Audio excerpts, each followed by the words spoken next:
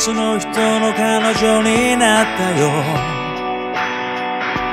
今度はあなたみたいに一緒にフェスで大はしゃぎとかはしないタイプだけど余裕があって大人で本当に優しくしてくれるの。別の人の彼女になったよ。今度はあなたみたいに映画見てても私より泣いてることなんてないしどんなことにも詳しくて本当に尊敬できる人なの。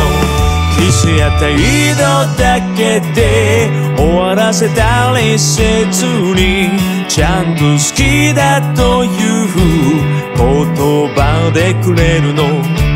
隣り合いはおろか口喧嘩もなくてむしろ怒るとこが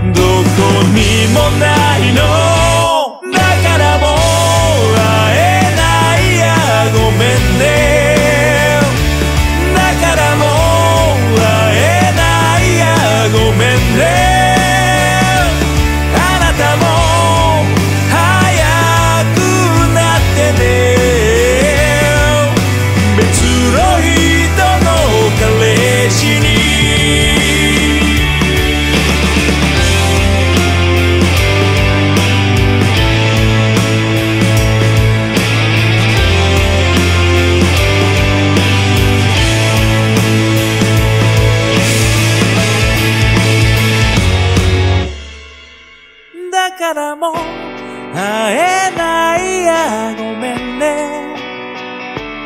だからもう会えないやごめんね。あなたも早くなってね。だけど私はずるいからだからも